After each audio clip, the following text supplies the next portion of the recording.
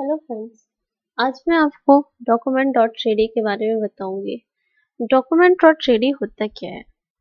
Document dot three जी query में तब call होता है जब हमारा डॉम फुल्ली लोडेड हो जाता है।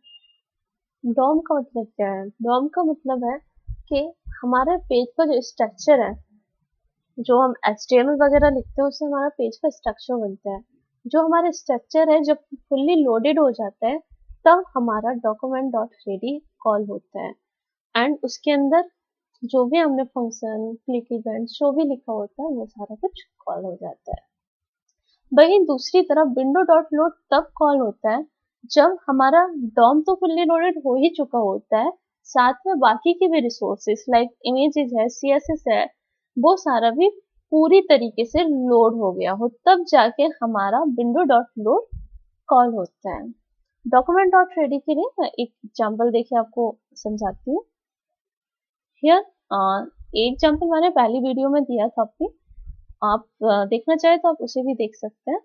यहाँ पे मैंने स्क्रिप्ट टैग लिया है। स्क्रिप्ट टैग के अंदर मैंने डॉक्यूमेंट डॉट रेडी कॉल किया है। उसके अंदर मैंने उसका क्लिक इवेंट क्लिक इवेंट किसका? एक बटन लिया है मैंने यहाँ एच उसका क्लिक इवेंट मैंने यहाँ पे कॉल किया है। जिसके अंदर मैंने एक अलर्ट मैसेज शो कराया है। तो इसको एक बार मैं रन करके देख लेती हूँ। ये ऑलरेडी रनिंग स्टेज में है। यहाँ पे।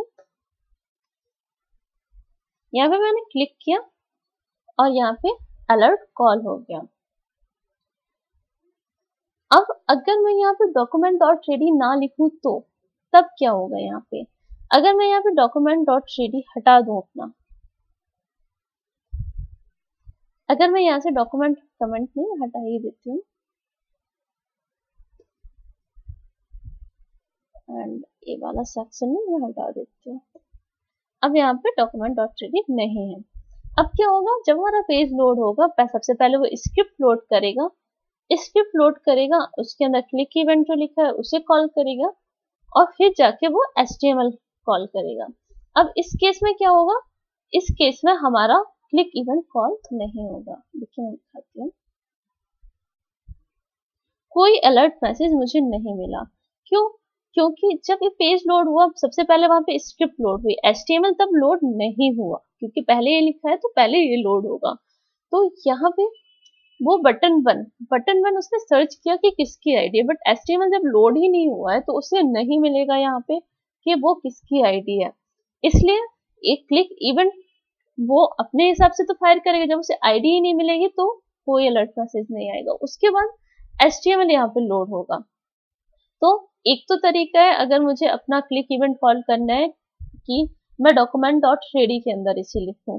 वही दूसरा तरीका है कि जो मेरा स्क्रिप्ट टैग है जो पूरा मेरा स्क्रिप्ट टैग है वो है जस्ट बॉडी का जो क्लोजिंग ब्रैकेट होता है उसके जस्ट आगे मैं लिखूं जिससे पहले एच कॉल हो जाए जिससे पहले एच कॉल हो, हो जाए फिर उसके बाद जब एच लोड हो जाएगा उसके बाद मेरी स्क्रिप्ट रन हो।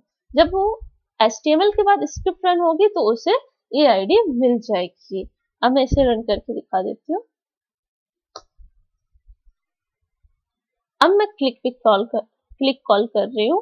तो जैसे मैं बटन पे क्लिक कॉल कर रही हूँ, वहाँ पे मेरा अलर्ट मैसेज मुझे शो हो जा रहा है।